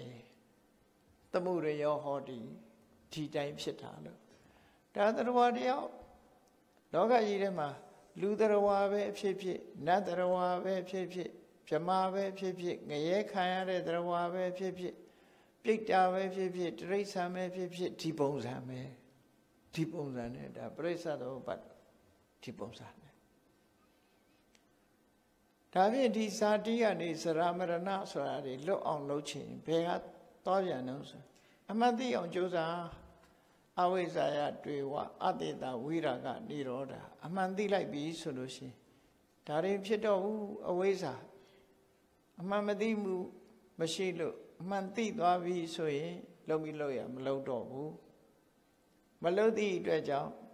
ဒီအဝိဇ္ဇာချုပ်ခြင်းကြောင့်သင်္ခါရဆိုတဲ့ကံတရားတွေချုပ်တယ်ဆိုလိုတာကိလေသာချုပ်ရင်ကံချုပ်တယ်ကံတွေငြိမ့်သွားတယ်ကိလေသာပြတ်သွားရင်ကံလည်းပြတ်သွားတယ် ကံပြတ်သွားရင်ကံကြောင့်ဖြစ်တဲ့အကျိုးတရားတွေလည်းရပ်သွားတယ်ဒီလိုဆိုလိုပဲပေါ့အားလုံးဟာအကြောင်းတရားရပ်အခုကြည့်လေလျှက်စစ်မီပြတ်သွားရင်အလင်းရောင်မှပြတ်သွားတာတရားစစ်မီပြတ်သွားရင်အလင်းရောင်မှပြတ်တယ်ဒီအလင်းရောင်ဆိုတာလျှက်စစ်မီပေါ်မှာမိတီးနေတာသာဖြစ်တယ်ပေါ့အဲ့ဒီသဘောတရားပဲဒါဟုတ်ဒါကိုပြိဿသောပတ်မှာအဲ့တော့မြတ်စွာဘုရားဟောတာကိုအချုပ်လေးပြောရမယ်ဆိုရင် ကံနဲ့ကိလေသာပေါင်းစပ်ပြီးတော့ဘဝတစ်ခုကိုဖန်တီးတာသာဖြစ်တယ်အဲ့ဒီကံကိလေသာထဲမှာကံတရားကိုကံတရားဆိုတာလုတ်ပြီးဖြစ်သွားလို့ရှိရင်ဖယ်ရှားလို့ရတဲ့အရာမဟုတ်ဘူးကိလေသာကိုဖယ်ရှားခြင်းဖြင့်ကံတရားတွေဟာအကျိုးပေးခွင့်မရှိတော့ဘူးအကျိုးပေးနိုင်စွာမရှိတော့ဘူးမြေရည်နဲ့မတွေ့အောင်ထားတဲ့မျိုးစေ့တစ်ခုသည်အပင်ကိုမပေါက်စေသလိုပဲ ကိလေသာမပါတဲ့ကံတရားသည်ဘယ်တော့မှဘဝကိုဖြစ်စေမှာမဟုတ်ဒါကြောင့်မို့တရားကျင့်တယ်ဆိုတာကိလေသာကိုဖယ်ဖို့ကျင့်တာပဲဖြစ်တယ်လိုချင်တာအမှန်မသိတာအဲ့ဒါတွေပြတ်အောင်စူးစမ်းအထုတ်တဲ့ဤစနစ်ကို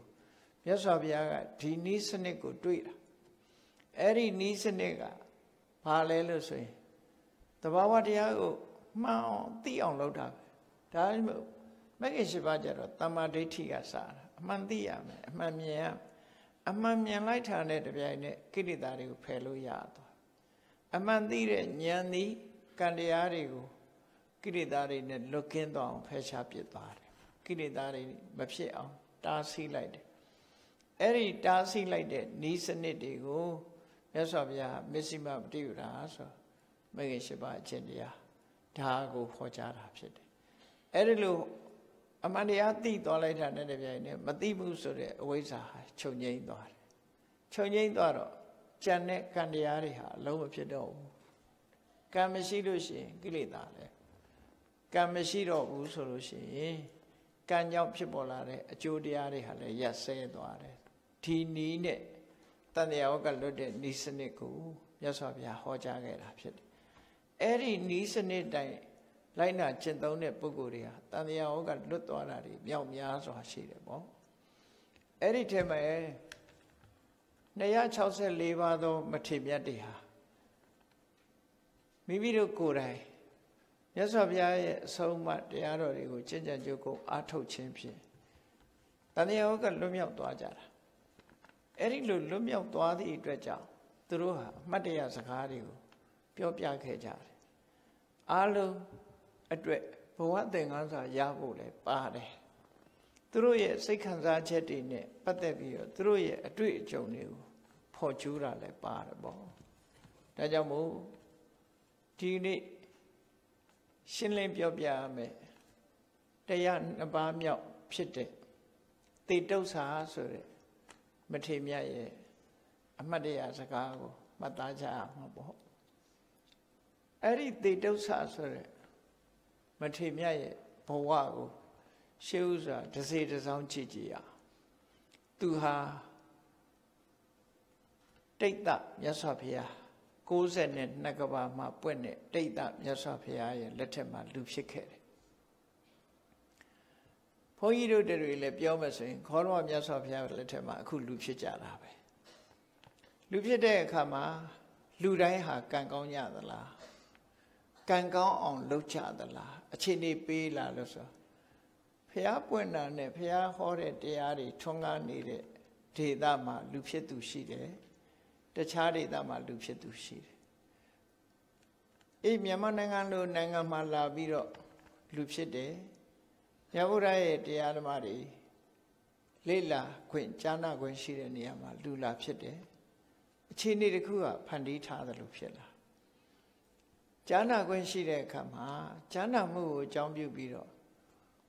အကြောင်းအရာတွေကိုသိရှိလာတယ်သိရှိလာတဲ့အခါမှာစဉ်းစားလာတယ်ဒီလိုဆိုလို့တယ်ပေါ့နော်မသိဘဲနဲ့စဉ်းစားရတယ်ဆိုတာမရှိဘူးအကြောင်းအရာတခုသိပြီးမှစဉ်းစားလာတာအဲ့ဒါလို့စဉ်းစားမှုကိုအခြေခံပြီးတော့နောက်ကလှုပ်ဆောင်မှုတွေပါဝင်လာတယ်။အော်ဒီမျိုးသားကလည်းတိတ်တာဘုရားရှင်လက်ထက်မှာလူဖြစ်တဲ့အခါ မှာဘုရားနဲ့ဆုံတွေ့တော့သူဟာကြီးညိုသရာတွေဖြစ်တယ်။အဲ့ကြီးညိုသရာလေးဟာသူ့အတွက်ဘဝမှာကံကောင်းမှုအတွက်ဖြစ်လာ။သူ့ရဲ့ယင်ထဲမှာဖြစ်ပေါ်လာတဲ့သရာမြတ်စွာဘုရားလို့ဆိုတဲ့ပုဂ္ဂိုလ်သူမြတ်ရဲ့အတန်ကိုကြားရတယ်ရုပ်ကိုဖူးရတယ်အဲ့ဒီကနေပြီးတော့ဆက်နွယ်ပြီးတော့သူ့ရဲ့စိတ်ကြည်နူးမှုတွေသူဟာမြတ်စွာဘုရားကိုအာဟာရ လှူဒန်းခွင့်လဲသူကကြုံခဲ့တယ်ပေါ့အဲ့ဒီအာဟာရလှူဒန်းခွင့်ကြုံခဲ့သည့်အတွက်ကြောင့်သူဟာအလွန်ကံကောင်းသွားပြီးတော့62ကဘာအပယ်မလားပဲနဲ့လူဘဝဖြစ်လိုက်နတ်ဘဝဖြစ်လိုက်နဲ့တန်တရားထဲမှာဒီကုသကံရဲ့အဆောင်ရှောက်နဲ့အပေပုံမရောက်တော့ဘူးနောက်ဆုံးမှာဂေါရမမြတ်စွာဘုရားပွင့်တဲ့အခါမှာလူလာဖြစ်ပြန်လူဖြစ်တဲ့အခါမှာ မြို့ကြီးတွေပြကြီးတွေမှာအုပ်ဆိုးတဲ့ဘယင်က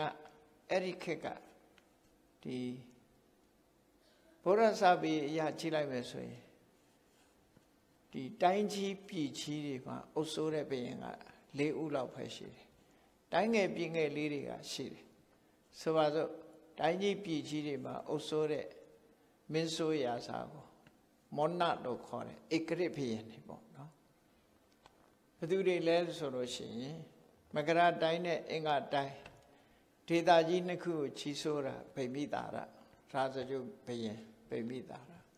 ကာတိတိုင်းနဲ့ကောသလတိုင်းနှစ်တိုင်းကိုအုပ်ဆိုးတာကောသလတာဝတိမြို့ကိုအခြေပြုပြီးအုပ်ဆိုးတာကောသလပဲအဝန္တိတိုင်းမှာအုပ်ဆိုးတာကအဝန္တိတိုင်းအုပ်စိန်နေပြည်ကိုအုပ်ဆိုးတာစန္ဒပစ္စောတမင်းလို့ခေါ်တယ် တခါကောသမိပြည်ကိုအုပ်ဆိုးတာကဥဒိဏမင်းလို့မြတ်စွာဘုရားလက်ထက်ကဧကရိဘယင်တို့ထင်ရှားတာဒီလေးဦးတာမန်စုပေါင်းပြီးတော့အုပ်ချုပ်တဲ့တိုင်းပြည်တွေမှာစုပေါင်းပြီးတော့အဖွဲ့အသင်းနဲ့အုပ်ချုပ်တဲ့စနစ်ကို oligarchy system လို့ခေါ်တယ်အဲ့ဒီ oligarchy ဆိုတဲ့အစုအဝေးနဲ့အုပ်ချုပ်တဲ့နိုင်ငံတွေကတော့မြမြ တ်စွာဘုရားမွေးဖွားရဖြစ်တဲ့တက္ကတိုင်းတာဂီဝေမင်းနေရာလဲအစုအဖွဲ့နဲ့အုပ်ချုပ်တာပဲဖြစ်တယ်ခုခေတ်ပြောမဲ့ဆိုရင်တော့ပါလီမန်စနစ်လို့လည်းပြောချင်ပြောပေါ့နော်သူတို့လူမျိုးတစ်မျိုးကအုပ်စိုးကြတာဧကရေဘရင်အုပ်စုမဟုတ်ဘူးအလှည့်ကျဥက္ကဋ္ဌလုပ်ပြီးတိုင်းပြည်ကိုအုပ်ချုပ်သွားတယ်နောက်တစ်ခါမန္လတိုင်းကမန္လမင်းနေ ဝိစီတိုင်းကလိတ်ဆွေတွေဒီလိုအုပ်စိုးကြတယ်အဲ့ဒီထဲမှာတောင်မပါဘူးတာမန်ဒေတာလေးတွေကိုကိုနယ်နဲ့ကိုပြည်နဲ့ကိုကိုဒေတာလေးတွေတိုင်းငယ်ငယ်လေးတွေပြည်ငယ်ငယ်လေးတွေအုပ်စိုးတဲ့မင်းမျိုးတွေလည်းရှိသေးတယ်တဝန်းတလျားပဲသူအုပ်ချုပ်ရတယ်တနည်းအားဖြင့်ပြောမယ်ဆိုရင်တော့ဧကရိဘယင်းတွေရဲ့လက်အောက်ခံမှာတိုင်းပြည်ငယ်လေးတွေဘယင်းဘယင်းလုံနေရတယ် ဘယင်းခံလို့ဆိုရင်လည်းဆိုပေါ့နော်သူဟာတိုင်းငယ်ပြည်ငယ်ကအုပ်စိုးတဲ့ဒီဘယင်းငယ်တူရဲ့သားသွားဖြစ်တယ်။ဘာဖြစ်တော့သူ့အဖေရဲ့ယာတုကိုဆက်ခံတယ်။ဒါပေမဲ့လို့သူဟာစီမံခန့်ခွဲမှုတို့ကြိုးပမ်းအထောက်မှုတို့မကျွမ်းကျင်တဲ့အခါယာတုကနောက်ပိုင်းမှာဆင်းပေးလေရ သူ့နာမည်ကိုတေတုဆာလို့ခေါ်တယ်။အေးယာတုကဆင်းပေးလေရပြီးတော့စိတ်ပြက်လက်ပြက်နဲ့သူဟာယာတုလက်လွတ်ဖြစ်သွားတဲ့အချိန်ပါမြတ်စွာဘုရားကဒေသစာရိခရီးကြွလာတော့ထိုခေတ်ကမြတ်စွာဘုရားနဲ့ဆုံတွေ့ခြင်းတဲ့ပုဂ္ဂိုလ်တွေကအများကြီးအမြဲတမ်းသတရင်ကြီးတယ်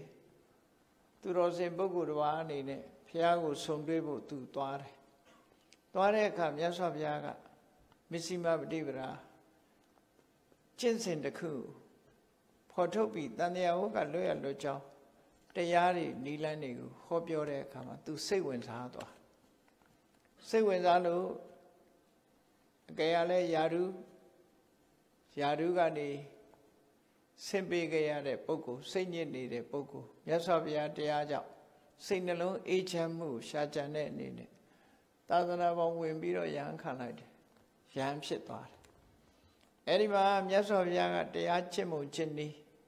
တပ္ပတာကျင့်စဉ်ဝိပဿနာကျင့်စဉ်တို့ဟောကြားဆုံးမပေးတဲ့အခါမှာသူဟာကြိုးကြိုးစားစားကြိုးစားအားထုတ်လိုက်တဲ့အခါမှာယဟနာဖြစ်ကိုရောက်သွားတယ်သူစိတ်တွေဟာအဲ့ဒီချက်မှာငြိမ်သွားတာစဉ်းစားကြည့်လေယာတုကလက်လွတ်ပြီးတော့ ဘင်းယာတုကဆင်းပေးလိုက်ရတဲ့ပုဂ္ဂိုလ်တယောက်ဟာစိတ်ဘယ်လိုလုပ်ငြိမ်နိုင်မလဲယာတုကုန်သိစိတ်စိတ်ဥစ္စာတွေလက်လွတ်ဆုံးရှုံးပြီးတော့စိတ်လေလွင့်ပြီးစိတ်ညစ်နေတဲ့ပုဂ္ဂိုလ်တရားဟာမြတ်စွာဘုရားခင်ကိုရမြတ်ရဲ့ဒီစနစ်ကိုလိုက်နာလိုက်ရတဲ့အခါမှာသူဟာတမာရီတွေကိုရရှိသွားတယ်အဲ့တော့သူ့ရဲ့အတိတ်သူဖြစ်ဖြစ်ခဲ့တဲ့ဘဝအခြေအနေတွေကိုသူပြန်ကြည့်တယ် စိတ်မတည်ငြိမ်ခဲ့ဘူးအမှန်တမ်းဒီတိုင်းပြည်အုပ်ချုပ်ပြီးမင်းလုံးနေရတဲ့လူကြီးလောက်ရတဲ့အခြေအခက်ခဲတွေသူ့ရဲ့အုပ်ချုပ်ရေးညံဖြစ်မှုကြောင့်သူဟာယာရုကဆင်းပေးခဲ့ရတဲ့အခြေအနေတွေဒါတွေကိုကြည့်ပြီးတော့သူစိတ်နှလုံးတည်ငြိမ်အေးချမ်းမှုမရဘူးမြတ်စွာဘုရားအဆုံးအမတွေကိုနားလိုက်နာကျင့်သုံးလိုက်ရမှ စိတ်နှလုံးတည်ငြိမ်မှုကိုရတာပြန်ပြီးတော့သူဆင်ញင်သုံးသပ်ကြည့်တယ်ဘာကြောင့်အဲ့ဒီတော့ငါတည်ငြိမ်မှုတွေမရခဲ့တာလေဆိုတာကိုသူပြန်ပြီးတော့ဆင်ញင်သုံးသပ်တဲ့အခါမှာအချက်၃ချက်ကိုသူတွေ့တယ်ချက်၃ချက်ကတစ်ခုကပါတော့မာနေနဝင်စိတာတေသူကသူအထင်ကြီးတစ်ခွဲသားနဲ့ နေတာငါသိတယ်ငါတတ်တယ်ငါပိုင်တယ်ဆိုတဲ့အထင်အထင်ရောက်နေတာလူဆိုတာအဲ့တိုင်းပဲမာနလို့ခေါ်တယ်မာနဆိုတာအထင်ရောက်မှုလို့ပြောရမှာဖြစ်တယ်နော်အထင်ရောက်တယ်ပဝင်မြင့်တယ်အဲ့တော့မာနဆိုတာဒီအထက်တန်းစဉ်းစားမှမာနမဟုတ်ဘူးကိုယ့်ကိုအထင်ရောက်နေတာမှန်သမျှမာနပဲနော်မာနဆိုတဲ့အဓိပ္ပာယ်ကအထင်ရောက်ခြင်းလို့အဓိပ္ပာယ်ရတယ် သို့တော့မာနဆိုတဲ့သဘောတရားဟာဘယ်သူမှဘိုးမထားဘူးငါအတော်ဆုံးငါသိတယ်ငါတတ်တယ်ဆိုတဲ့စိတ်ရှိတယ်အမေဖေတောင်ပြောရင်သိနားမထောင်ဘူးနော်ခင်မမီပါဘူးလို့ပြန်ပြောခြင်းပြောပါနော်အဖွားကြီးဖိုးကြီးခင်မမီတော့ဘူးဒီလိုပြောတဲ့သာသမီတွေရှိသေးတယ်အဲ့တော့မာနဆိုတဲ့သဘောတရားဟာအထင်ရောက်မှုပဲ အဲ့ဒီစိတ်ထဲမှာထင်မှတ်နေမှုသည်လူကိုလှိစားတတ်တယ်ပေါ့ငြိတာလှည့်စားတတ်တယ်ကိုယ့်ဟာမှာကိုကျင့်တတ်တယ်မာနတရားသရောင်းစားကတော့မှမာနရှိတယ်နော်တမန်လူတွေမာနရှိတာလေမာနမရှိဘူးမဟုတ်ရှိကြလားဒီကောမာနမမသိကြသရောင်းစားမာနဘယ်လိုဟာတော့ဆိုလူတယောက်ကမင်းတောင်းစားနဲ့လာငါအလုပ်ကိုလုပ်ပတ်စံမလောက်ပေးမယ်ဆို လက်မခံဘူးကျုပ်ကသရောင်းစားပြခမရအလုပ်မလုပ်နိုင်ဘူး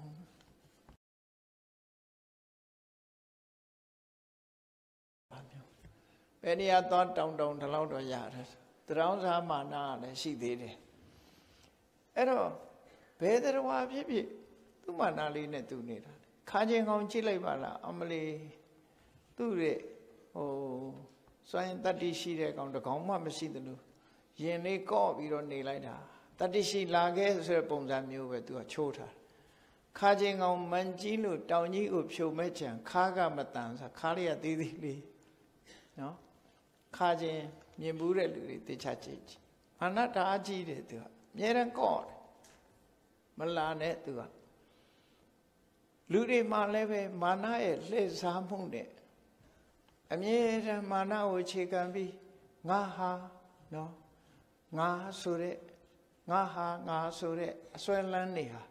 လူတွေမှာရှိနေကြတယ်ငါတော်တယ်ငါတတ်တယ်ငါသိတယ်ဆရာလာမလုံးနဲ့ဆိုတာတွေအလုံးဟာမာနရဲ့သဘောတရားတွေကြီးပဲဟောအဲ့ဒါလို့လူတယောက်ဟာမာနကိုကိုယ့်ရဲ့ထင်မြင်ယူဆမဲ့ကိုယ့်ရဲ့ဂုဏ်သိက္ခာလို့ဆိုပြီးတော့လူတွေဟာထင်မှတ်ပြီးတော့ကိုယ့်အရေးချင်းကိုကို အထင်ရောက်နေမှုဆိုတဲ့မာနတွေရဲ့လှိစားမှုဟာလှိစားမှုကြောင့်တကယ်ဒုက္ခကြုံလာတဲ့အခါကျတော့ကိုယ်ကိုအမှန်မသိတာကိုယ်အခြေအနေကိုကိုမသိတာတွေဖြစ်လာတဲ့အခါမှာဒုက္ခရောက်ကြတယ်ပေါ့နော်ဒုက္ခရောက်ကြတယ်အဲ့ဒါကိုသူကပြောတာသူလည်းပဲ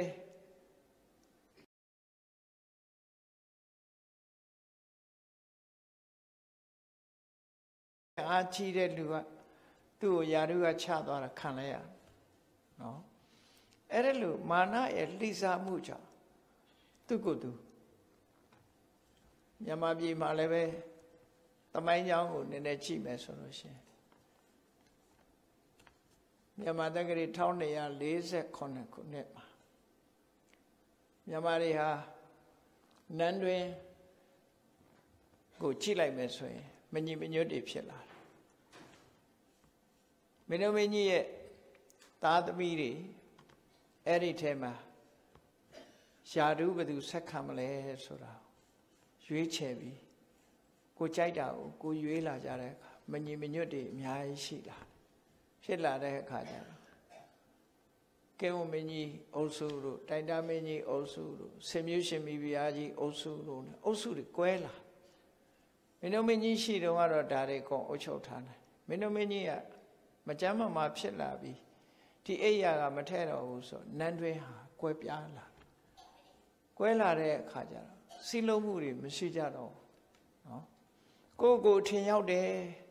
ကိုယ့်ကိုထင်ကြီးတယ်အဲ့တော့အင်္ဂလိပ်ဆိုတဲ့မိစ္ဆာကလားကိုဘုံတော်ကြောင့်တိုက်ထုတ်လိုက်ရင်အလွယ်လေးနဲ့နိုင်ပါတယ်ဆိုတဲ့အထင်ရောက်မှုတွေ အဲ့ဒါလို့နဲ့မြန်မာပြည်ကလွတ်လပ်ရေးဆုံးရှုံးသွားတာပဲဖြစ်တယ်ဟောဒါသမိုင်းကြောင်းကိုဖတ်ချင်သိတယ်နော်နန်းတွင်ရေးအခြေအနေတွေဟာအဲ့ဒါလို့ဖြစ်ပြီးနောက်ဆုံးမှာခုခံကာကွယ်မှုတောင်မပြုတ်လိုက်ရပဲနဲ့အလွယ်တကူနန်းကြသွားအဲ့ဒီကစပြီးမြန်မာနိုင်ငံလွတ်လပ်ရေးဆုံးရှုံးသွားတယ်ဆိုတာအလုံးသိအဲ့ဒါဘာကြောင့်လဲလို့ဆိုမာနေနဝိဇိတတိ ကိုယ့်ကိုထင်ရောက်နေတာလောကီမှာလည်းကိုယ့်ကိုထင်ရောက်တာအဲ့ဒါလိုပဲဒီတရားဓမ္မဘက်မှာဆိုလို့ရှိရင်လေဒါအထင်ရောက်နေတတ်တယ်ဆိုပါစို့မြတ်စွာဘုရားကဥရဝေလကတ္တဗတို့ခရာကတ္တဗတို့နတိကတ္တဗတို့ရှင်တထောင်သွားချွတ်တဲ့အချိန်မှာဆိုလို့ရှိရင်ဥရဝေလကတ္တဗကြီးကဘလို့ထင်ရောက်တော့မြတ်စွာဘုရားရဲ့အစွမ်းတကူတွေကိုသူတို့လက်တွေ့တွေးကြတယ်ပထမဆုံး မြတ်စွာဘုရားကသူတို့ပူဇော်တဲ့မီတင်းကုတ်မိနတ်ကွန်ကြီးကိုတောင်းတယ်တောင်းတဲ့အခါမှာသူတို့ကအဲ့ထက်ပဲမွေစိုးကြီးရှိတယ်နဂါးကြီးရှိတယ်အဲ့ထက်မှမနေပါနဲ့အန္တရာယ်ရှိတယ်လို့ဆိုမရဘူးမြတ်စွာဘုရားအဲ့ဒီမှာနေတညာလုံးမွေတကားမြတ်စွာဘုရားကိုဒုက္ခပေးတော့မြတ်စွာဘုရားအဲ့မွေတကားနဲ့အစွမ်းတကူချင်းပြိုင်ပြီးတညာလုံးမီးဟုံးတောက်တယ်လို့သူတို့က မနဲ့ဆိုရင်တော့ယဟန်ဂေါရမတော့ပြဖြစ်နေပြီဟောမနဲ့ကြတော့မြတ်စွာဘုရားအဲ့ဒီငကားကြီးကိုတပိတ်ထဲထည့်ပြီးငကားဆိုတာကောဘရာကိုခေါ်တာပဲဟိုတဲ့မွေးဟောက်ချီတွေပေါ့တပိတ်ထဲထည့်ပြီးတော့ပြလိုက်တာရှင်ကျေးနေပြီဘယ်သူမှအန္တရာယ်မပေးတော့တဲ့အနေထားအဲ့ဒီလိုမြတ်စွာဘုရားအစွမ်းတကူတွေကိုသူတို့မြင်ရတော့လည်းပဲဥရဝေလကတ္တဝရဲ့ခေါင်းထဲမှာ အင်းတကူတော့ကြီးသားပဲငါလိုယဟန္တာတော့မဟုတ်ဘူးလို့ထီလိုတွေးတယ်သူကအမြဲတမ်းနောက်ထပ်လဲတကူတွေမျိုးစုံမြတ်စွာဘုရားကပฏิပဒါရောတိတိတာတာရော ပြတာတွေကိုပြသမျှတကူပေါင်းဟာခရီးချီပြီးတော့ပြတယ်မြတ်စွာဘုရားအမျိုးစုံလို့ပြအဲ့ဒီလိုပြတဲ့တကူတွေကိုတွေ့တိုင်းတွေ့တိုင်းသူကအင်းတကူတော့ကြီးတယ်ငါလိုယဟန္တာမဟုတ်ဘူးငါလောက်အကျင့်မကောင်းဘူးလို့ဒီလိုပဲတွေ့တယ် အဲ့ဒါမာနပဲမာနရဲ့လှည့်စားမှုတွေကြောင့်မို့လို့လူတွေဟာအမှန်တရားကိုမမြင်နိုင်ဘူးတရားဓမ္မကိုမသိနိုင်ဘူးလို့ဆိုအဲ့ဒီအထင်ရောက်မှုဆိုတဲ့မာနဟာအခုခံကြီးဖြစ်တယ်ပေါ့အဲ့ဒါကိုသူသဘောပေါက်သွားတယ်မာနေနဝင်စိတာတေမာနရဲ့လှည့်စားမှုကိုငါခံရတယ်ဒါကြောင့်ငါတမာရီမရခဲ့ဘူးစိတ်တွေလေလွင့်ခဲ့တယ် နောက်တစ်ခုသူရှာတွေ့တာပါတော့သင်္ခါရေတုတန်ကိလေသာမာနာတေသင်္ခါရဆိုတာတကယ်ကတော့နာမည်မျိုးမျိုးပေးတာရစီရမြင်ရတဲ့အစင်အတန်အနံ့အရသာအထီတွေ့စိတ်ကူးအာယုတမားပြပြောမယ်ဆိုလို့ရှိရင်လူချင်းစရာတွေလောကမှာအများကြီးနာမည်တက်လိုက်မယ်ဆိုရင်အများကြီးပေါ့ခုခေတ်ဆိုပိုများသေးတယ် ကာတို့တိုက်တို့ရွှေတို့ငွေတို့စိန်တို့ယရနာပစ္စည်းတွေတို့အားလုံးလိုချင်စရာတွေကြီးပဲအဲ့ဒါတွေကိုစကားတခွန်းနဲ့ပြောလိုက်ရင်သင်္ခါရပြုပြင်ထားတဲ့အရာတွေသာဖြစ်တယ်အဲ့ဒီသင်္ခါရလို့ဆိုတဲ့လူတွေရဲ့မျက်စိနာနာလျာကာယနဲ့ဆက်သွယ်လာတဲ့မနနဲ့ဆက်သွယ်လာတဲ့အရာတွေအားလုံးဟာအဲ့ဒါတွေကိုအကြောင်းပြုပြီးတော့လူတွေပါဖြစ်တယ် လောဘဖြစ်ကြတယ်ဒေါသဖြစ်ကြတယ်တဏ္ဍာနဲ့တဏ္ဍာတိုက်ထားတို့တယောက်နဲ့တယောက်ရံဖြစ်နေကြတာတို့လူရက်နေကြတာတိုက်ခိုက်နေကြတာဘာအတွက်လဲမေးမယ်ဆိုရင်တခုတည်းပြောမယ်ဆိုရင်တော့ပစ္စည်းဥစ္စာအတွက်ပဲလိုချင်မှုပဲเนาะပစ္စည်းဥစ္စာအတွက်လိုချင်မှုတဏှာကြောင့်တိုက်ခိုက်နေကြတယ်အဲ့ဒါကိုနာမည်မျိုးမျိုးတက်မယ်ကိုချိုးစီးပွားကိုချိုးစီးပွား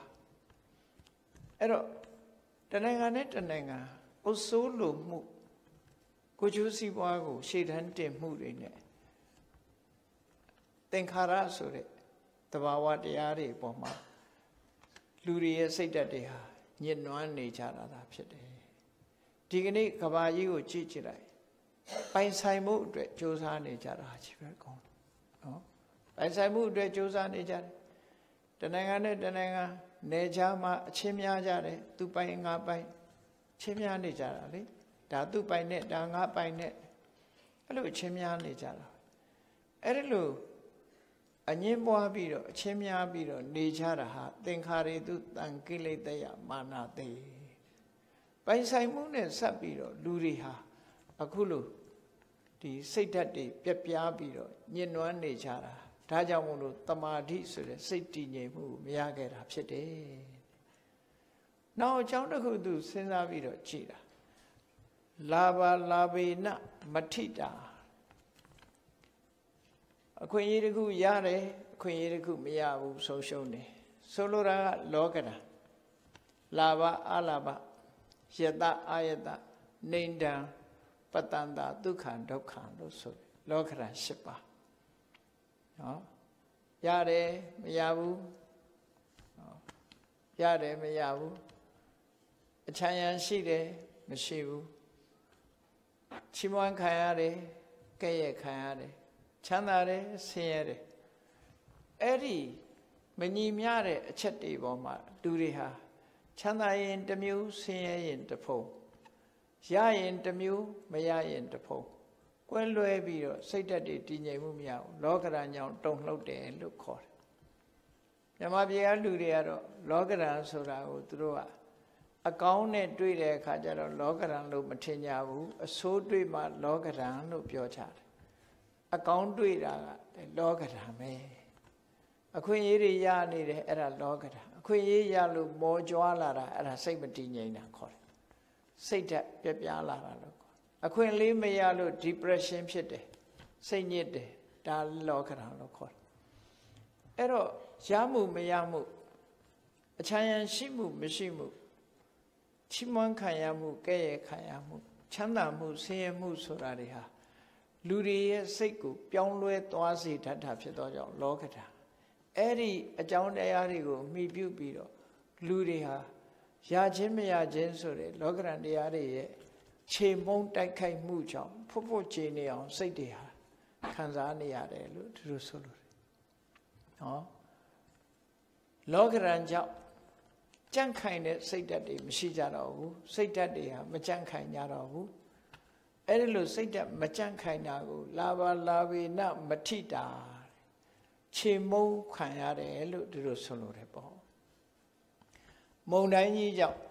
တစ်ပင်ကြီးတွေဟာရိမ့်ထိုးနေသလိုပဲလူတွေရဲ့စိတ်ဟာလည်းပဲလောကရန်ကြောင့်ရိမ့်ထိုးနေကြတာဖြစ်တယ်တည်ငြိမ်မှုမရဘူးလို့တမာဒိနာတိခိစတိအဲ့ဒီအခြေအနေတွေကြောင့်လောကလူသားတွေဟာတမာရီမရပဲနဲ့စိတ်တွေလွင့်ပါပြီးတော့နေကြတယ်စိတ်တည်ငြိမ်မှုကိုမရကြဘူးအခုတော့ငါဟာစိတ်တည်ငြိမ်မှုရသွားပြီလို့သူပြောတာเนาะ အချိန်ဒီတစ်ခုကိုသူလွန်မြောက်ခဲ့တာသူကိုယ်တိုင်ခံစားခဲ့ရတာမာနရဲ့လိစားမှုတွေခံခဲ့ရလို့သူဒုက္ခတွေရောက်တယ်သင်္ခါရတွေပေါ်မှာယာရုဂုံသိစိစိန်တွေပေါ်မှာစိတ်ညစ်မှုတွေနဲ့ကြုံခဲ့ရတယ်ရရှိမှုမရရှိမှုဆိုတဲ့လောကရန်တွေရဲ့ချိန်မုံမှုကို သူ့စိတ်တွေဟာထောင်းထောင်းချေအောင်ခံခဲ့ရတယ်အဲ့ဒါတွေကြောင့်သူဟာစိတ်တည်ငြိမ်မှုမရခဲ့ဘူး အခုလိုမြတ်စွာဘုရားနဲ့တွေ့လို့မြတ်စွာဘုရားရဲ့အဆုံးအမတရားတော်အတိုင်းလိုက်နာကျင့်သုံးလိုက်တဲ့အခါမာနဆိုတာလည်းအလကားပဲလှိစားမခံတော့ဘူးသင်္ခါရတွေပေါ်မှာစိတ်ညစ်စရာဆိုတာလည်းမတွေ့တော့ဘူးလောကရန်ရဲ့ချိန်မုံမှုကလည်းသူကလွတ်မြောက်သွားပြီဒါကြောင့်မို့သူဟာတမာတိစွမ်းအားတွေကိုရရှိပြီးစိတ်ဆိုတဲ့အမှတ်တရားစကားပဲဖြစ်တယ်ပေါ့တရားချက်ခင်သူတော်စင်ပြိဿပေါင်းတို့ လောကမှာစိတ်တည်ငြိမ်မှုမရခြင်းဟာလွယ်မှားမှုဆိုတာတွေကြောင့်ဖြစ်တယ်အခုဒီတေတုဆဆိုတဲ့မထေမြတ်ကသူ့ရဲ့ဘဝအတွေ့အကြုံနဲ့ပတ်သက်ပြီးတော့မာနရဲ့ဒီသင်္ခါရတွေပေါ်မှာစိတ်လှုပ်ရှားမှုညင်ညွတ်မှုတွေရဲ့လောကရာကြောင့်စိတ်တုန်လှုပ်မှုတွေကြောင့်သူစိတ်မတည်ငြိမ်ခဲ့ဘူးအခုဟာလုံးဝကို ဒါတွေကလွတ်ကင်းပြီးတော့စိတ်တည်ငြိမ်မှုရခဲ့ပါတယ်လို့စိတ်တည်ငြိမ်မှုကိုရချင်တဲ့ပုဂ္ဂိုလ်တိုင်းပုဂ္ဂိုလ်တိုင်းဟာမာနရဲ့လှိစားမှုမခံရအောင် သင်္ခါရတရားတွေပေါ်မှာအမှန်မမြင်အမှန်မြင်အောင်လောကရန်တရားနဲ့ပတ်သက်ပြီးတော့ကြံ့ကြံ့ခန့်နိုင်အောင်လေ့ကျင့်တဲ့အနေနဲ့တရားဓမ္မကိုကြိုးစားအားထုတ်ကြမှာဖြစ်တယ်ဆိုတာကိုတိုက်တွန်းနှိုးဆော်ခြင်းပဲဖြစ်တယ်။ဒါကြောင့်မြတ်ဗုဒ္ဓရဲ့အဆုံးအမရဟန္တာမထေရမြတ်ရဲ့ ဒီဘဝသင်္ကန်းစာပေးတဲ့အမှတ်တရစကားကိုနာယူမှတ်သားပြီးကြိုးစားအားထုတ်နိုင်ကြပါစေကုန်သတည်း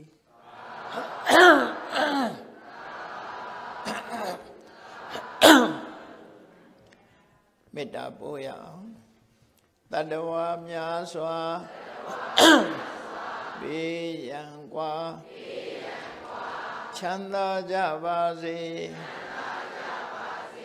တတဝါများစွာဘေးရန်กว่า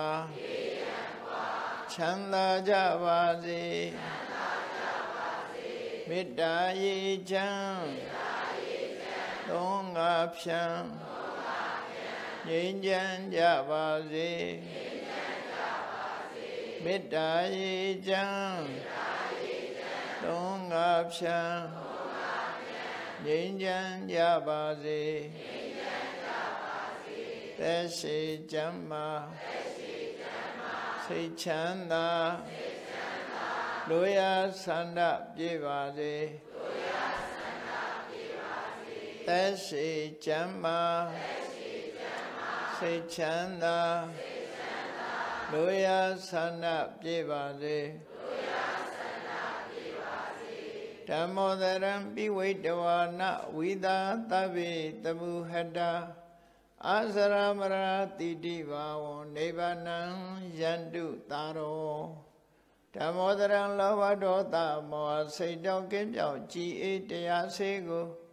ပိဝိတဝဝန္တာရွှင်ပြတောက်ကြရနာကြရကုန်သောကြောင့်ဝိသာတဗိပူဇာညနောကိလေသာဆေယတောဟုသမျှတို့သည် သမုဝတ္တပိဉ္ကြဘက်တွင် ရေမတင်တဲ့ကဲ့သို့ကင်းစင်လွင်ပြောင်းပဲမြောက်အောင်ပဲဖြောက်အကုန်သည်ဟွန်တုစင်စစ်မသွေဖြစ်ကြပါစေကုန်သတည်းအဇရမရံအိုခြင်းလဲကွာနာခြင်းလဲကင်းသေးခြင်းလဲရှင်းထသောတိတိဘောကိရိတာဟုပုခသိင်ကင်းငြိမ်းရာအစစ်ဖြစ်ပေထသောနိဗ္ဗာန်နိဗ္ဗာန်ဟုခေါ်အေးပြုတော်သော သာရောတရားချစ်ခင်စိတ်ကောင်းဝိညာသူတော်စင်များတို့သည်ယန္တုပါရမီအဆင့်ဆင့်မြင့်တယ်မြင့်၍မလင့်ပုံသေးဆက်ရောက်တော်မူကြပါစေကုန်တည်း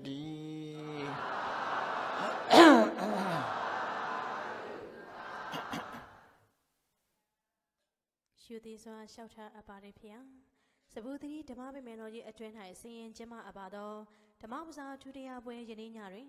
မထေမြတ်တို့၏အမတ်တရစကားများအပိုင်း66တရားတော်များအားချီးမြှင့်တော်မူခဲ့သည့်ကျေးဇူးတော်ရှင်ပမောက္ခချုပ်ဆရာတော်ဖရာကြီးထံသို့တရားတော်ကိုပူဇော်သည့်အနေဖြင့်ဓမ္မပူဇာအလှူတော်ငွေများအားကပိယကာရကမတဆင်လှူဒန်းပူဇော်ခွင့်ပြုပါရန်လျှောက်ထားအပ်ပါတယ်ဖရာဆရာတော်ဖရာကြီးကပိယကာရကဖြင့်ဥကျော်သင်းမှဆောင်ရွက်ပေးပါရန်လေးစားစွာပန်ကြားအပ်ပါတယ်ရှင်ဓမ္မဥစားလူတန်းမြေအစီအစဉ်ရဒီကနေ့ည၏မတီလူရှင်များဖြစ်ကြပါတော့ ဦးတေဇစောဦးမနှင်းရီမောသမီးမတ်ရှွန်းလက်နှင်းဦးယရီနှင်းဦးတားညံဖုံးဝင်းမိသားစုမှမာတီဓမ္မဝဇာအလူတော်ငွေကျပ်သိန်း90အားစက္ကန့်လူရန်ပေးပါရန်ဖိတ်ကြားအပ်ပါရရှင်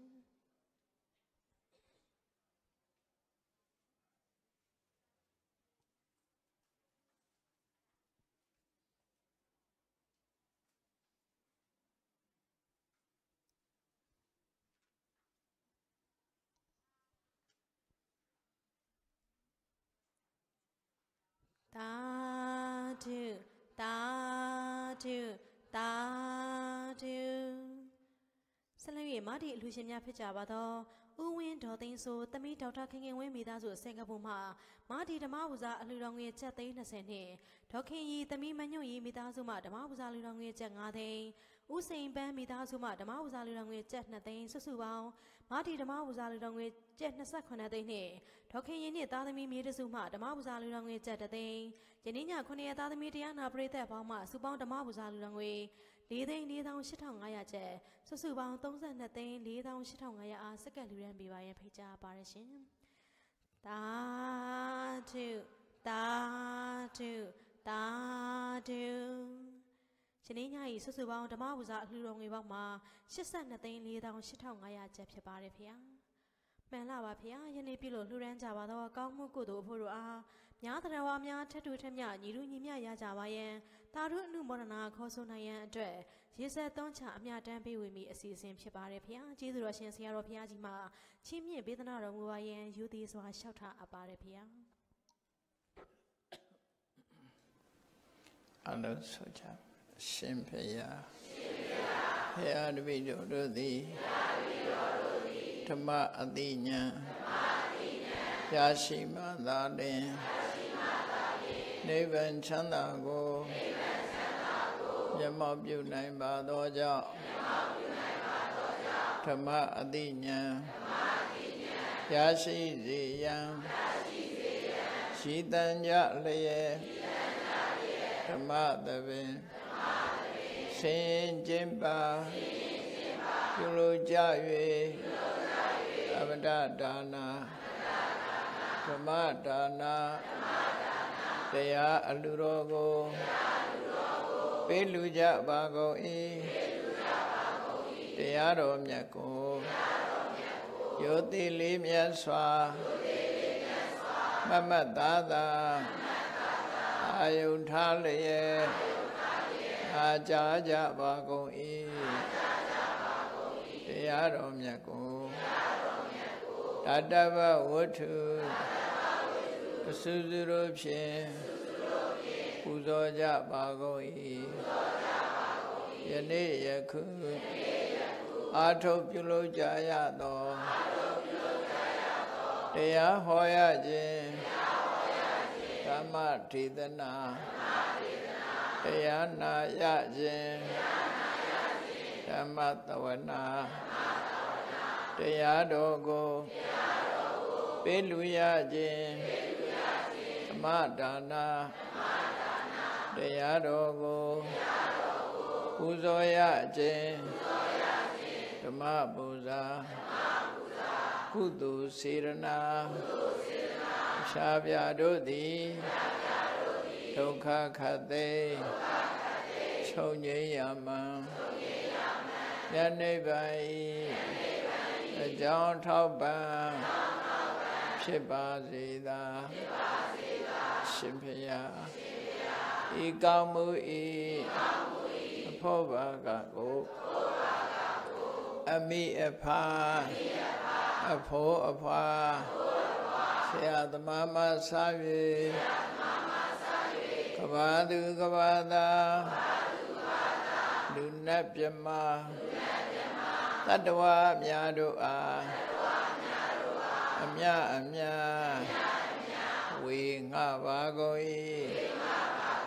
ကုသိုလ်အမြကိုယ်စီရကြကုန်သည်ဖြစ်၍ကိုယ်စိတ်နှဖျားချမ်းသာကြသည်ဖြစ်ကြပါစေကုန်သတည်းအလုံးချာကြသမျှအမြအ